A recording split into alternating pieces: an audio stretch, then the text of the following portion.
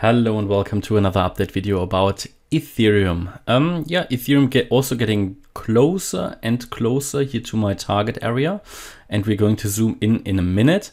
Now, it is currently developing in a way that I already told you, I think in the last few videos, um, that it's looking just generally by how the movement of the chart is currently working out. Also the looking at the Fibonacci levels and the potential next impulse down and looking at also what I think Bitcoin is going to do most likely, it is looking as if we could really drop below that 1700 US dollar level. Yeah, I'll make you aware now because the potential for that is going up with the latest movements that Ethereum is doing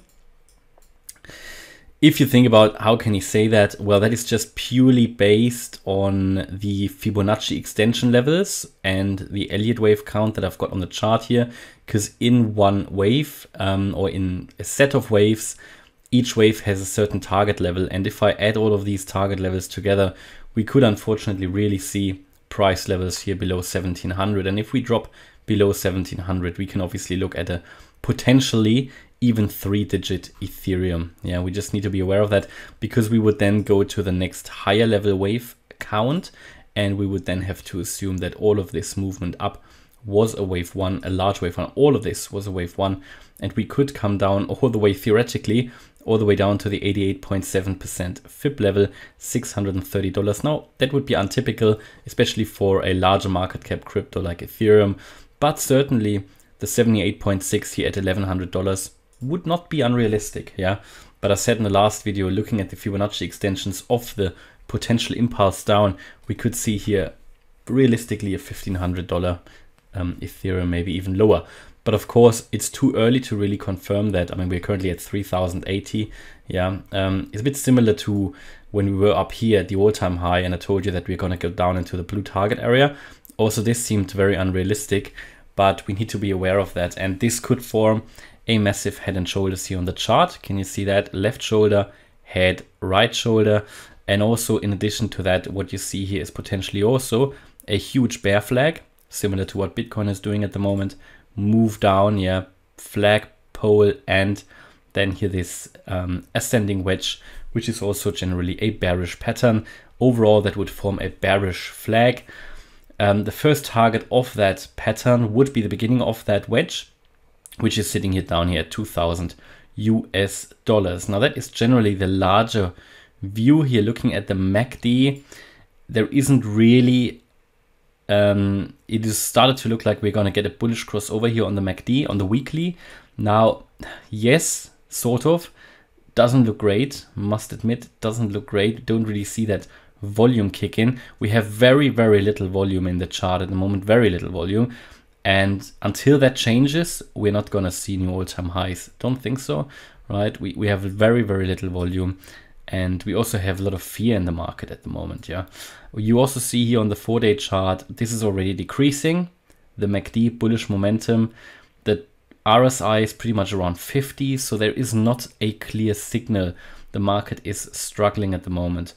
On the one day then, okay, potential bullish crossover, and that makes sense if we take a look at my Elliott wave count, that we are going to see here potentially a bullish crossover on the daily, absolutely, that makes sense. The 8 hour is, by the way, already turning down, but the daily is pushing higher, which means that at some point here, if the 8 hour is turning down, that could continue. At some point will have an impact on the daily, but not yet. So we could still see here some further upside. And that is what I expect. Getting closer and closer here to that target range, which is starting at $3,230. That would be here. Um, my view is here that we already, similar to Bitcoin, completed a wave four, that we already completed that wave one down. It's a very similar wave count to Bitcoin, um, that we are now in this wave two up. Now a wave two to the upside should at least reach the 50% Fibonacci retracement. We already reached the 38.2 here with 3157, so only one Fibonacci level away from the target. Um, if I need to make that a bit more accurate here.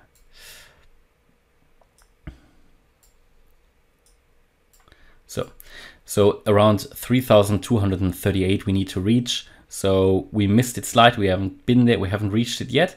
So I would still expect that we're going to reach the Fibonacci level here, the 50% at a minimum. Yeah, that would be normally the minimum for a oh wave two, but typically the cryptos move a little bit higher. So the 61.8 here at 3,320 would be realistic for that move up. That's what how I see currently Ethereum play out. So moving up first anywhere in this target range. Whereas I think, find the 88.7% up here is fairly unrealistic, but possible, but still I'll narrow it down now a little bit. So anywhere in the region between the 50% FIB level at 3,238 and the 78.6 at 3,440. That's how I see this currently play out. Well, that would mean that at some point there in the green target range, we would expect the turnaround for a reversal to the downside if that happens, what could be the target for the third wave, which is the usually the most bullish or in this case bearish wave. Let's just take a look. And uh, let's just assume at the 50% fib retracement, there would be that high, that swing high.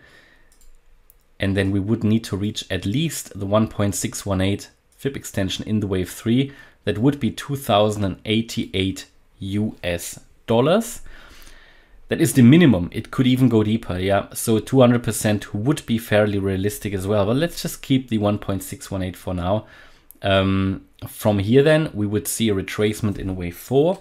How much? Let's say, okay, let's say the wave 3 will hit, oh, what, what level was that? Let's say the wave 3 will hit the, yeah, $2,088 level. What would we then have to calculate in terms of the retracement for a wave 4? Okay, let's just do that.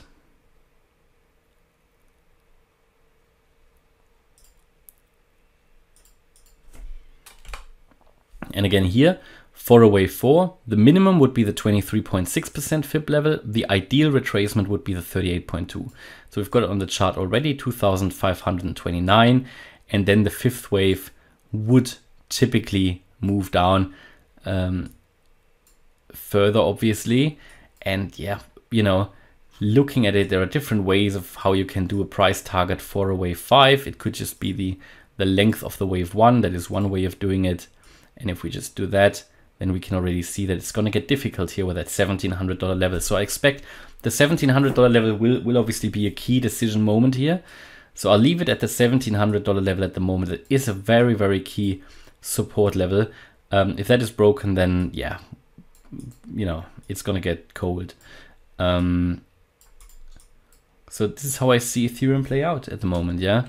And I will obviously update you regularly about this movement because this can change depending on how high the wave 2 would come. Obviously, the Fibonacci levels of the next move will also change. So um, that's what many people don't understand that if I now, for example, calculate the Fibonacci target for the wave 3, this of course can look entirely different in a week. Let's say if that wave 2 did not reach the 50% fib retracement, but it may be reached up here, the 78.6, because then that wave 3 target shifts from 2088 to um, 2236, and that will change all the other waves as well. Therefore, it is so important to get a daily or regular crypto update and not use an old video because things can change, especially with the Elliott waves.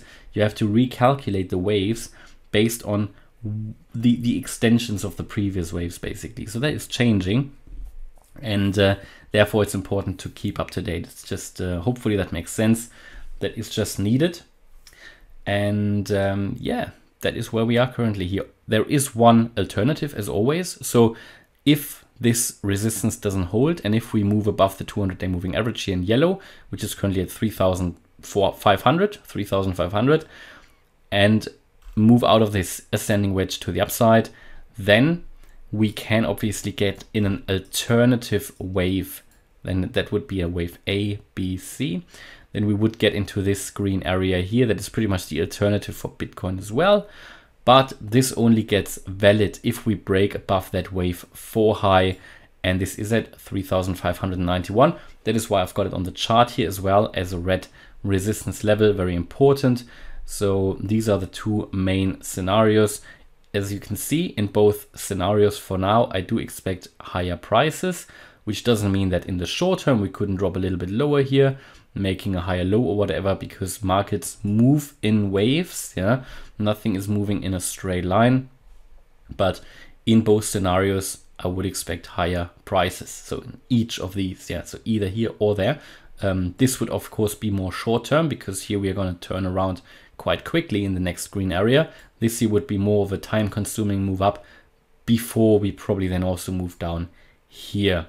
So that is currently how it's looking and hopefully the $1,700 level will hold. And then in the blue target area, um, we are going to turn around. Yeah, that has been the plan. I'm just a bit concerned about these, about this wave and the possible extensions of this wave because the way I have calculated this at the moment, it is without any extensions. If you get a extended wave 3, then we are going to drop below 1700 pretty sure. Okay, that's my view about Ethereum. Hopefully you liked the update. If you did, please hit the like button, leave a comment and subscribe. And if you really like the content, then check out the channel membership. Thanks a lot for watching. Bye-bye.